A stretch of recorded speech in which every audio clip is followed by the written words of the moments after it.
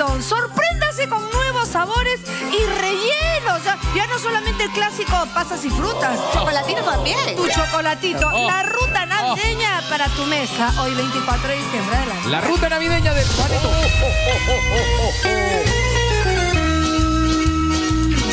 ¿Te has contado que tú tienes unos panetones artesanales que están bien tuneados, bien decorados?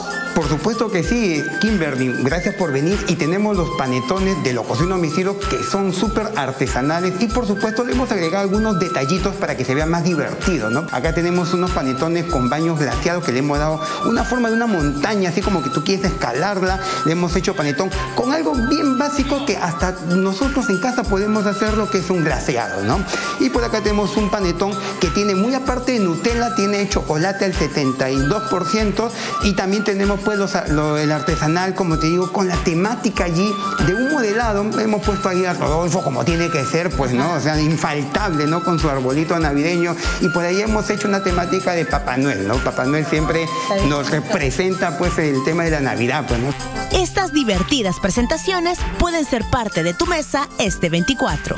Si alguien viene con un diseño específico... Por supuesto que sí. Tú me pides este diseño, yo te lo hago. ¿Y cuáles son los precios? Nosotros manejamos el precio del panetón artesanal en 17 soles. Si ya tú lo quieres personalizado, es manejable según el, diseño. Y si le da mucha curiosidad cómo se realizan estos diseños, a continuación se lo mostraremos. Y ya con el panetón hecho, arranquemos entonces con la decoración. Por, supuesto que sí, mira, lo voy a hacer así sencillito para que una ama de casa lo pueda hacer en la comunidad de su hogar. En un bol voy a ir agregando una clara de huevo, ¿ya?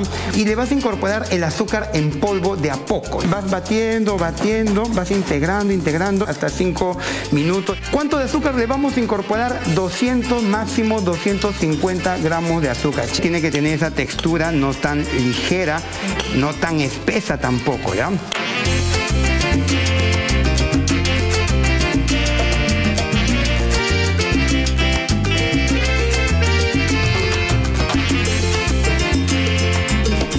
primera opción le encantó.